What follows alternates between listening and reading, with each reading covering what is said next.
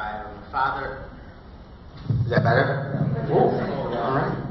But it's hard to uh, chase that, but you did a fantastic job. So um, I didn't do any of that stuff. I, I've been a resident of Crystal Lake for about seven years now. Um, I'm a father of, of two young children, a five-year-old and a two-year-old. And um, I love this community. It's a great place to live, just like the sign says.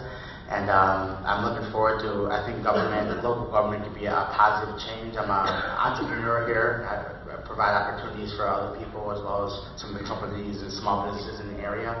And I'm looking forward to, to see some positive change. I think that um, local government should be, you know, accessible, uh, transparent, and, you know, accountable for all the things that they do. So I, uh, I really appreciate this opportunity. I appreciate uh, you guys inviting me out here. I'm excited to address uh, my fellow peers and my, my community here in uh, the best way I can. So thanks again for the opportunity, and Teddy Smith, District 155.